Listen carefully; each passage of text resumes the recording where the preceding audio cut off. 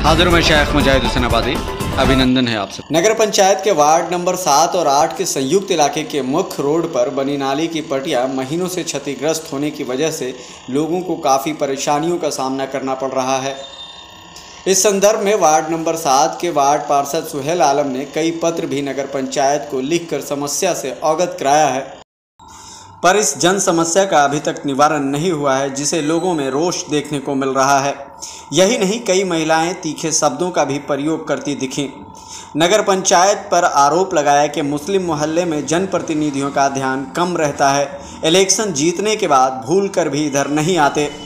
कई लोगों ने तो ये भी आरोप लगाया कि जहाँ पास पटिया क्षतिग्रस्त है, वहाँ पर बसपा नेता शेर अली की ऑफ़िस भी है। इसलिए कुछ विपक्षी लीडर बदले की भावना से भी इस कार्य को तमाशा बनाए हुए हैं। आइए सुनते हैं एक स्थानीय नागरिक ने क्या कहा नगर अध्यक्ष से।